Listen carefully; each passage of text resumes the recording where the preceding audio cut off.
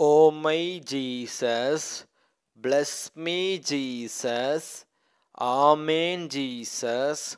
Support me, Jesus. Hallelujah, Jesus. Help me, Jesus. Amen. Amen. Amen. Jesus, Jesus, Jesus. Hey, hello, gentlemen and ladies. Welcome to my YouTube channel. My name is Asok from India.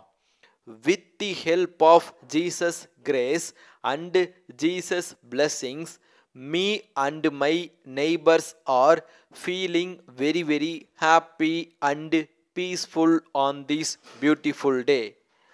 I hope my audience you also feeling very peaceful on this beautiful day. Every day I pray to Jesus for my audience happiness. I would like to say thanks to my viewers for your continuous support to my Jesus Calling show. The target of this show is to give good advice to the society. Every day I am giving good advice to the society through my Jesus Calling show and it will remain firmly there. I feels like Jesus ordered me to give good advice to the society through my Jesus Calling show. If you give good advice to others means Jesus definitely helps you to become a happy person because giving good advice to others is a good karma. If you do good karma means you feel very happy. So please try to give good advice to others. Try to motivate a person who is feeling sad. Without any further ado, let's get into today's good advice topic. Minimize air pollution. Every day I pray to Jesus to minimize air pollution issue. You know chlorofluorocarbon gas. It is a harmful gas because it can destroy our ozone layer. Ozone layer is very important to minimize the harmful effects of solar UV rays.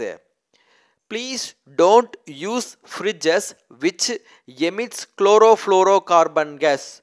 Okay.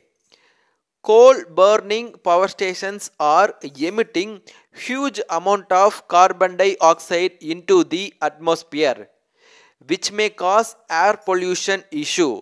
So I request you so I request people to encourage solar panel based power stations.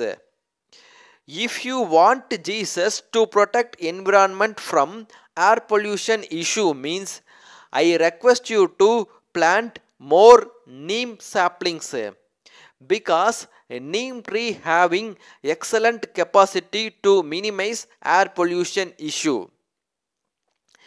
Environmental experts considered neem tree as a natural air purifier. I am living in India. In India, we considered neem tree as a god. We are worshipping neem tree as a god. So try to plant more neem saplings to minimize air pollution issue. Thank you very much for watching my video. Please click the subscribe button if you want to get daily Jesus calling videos.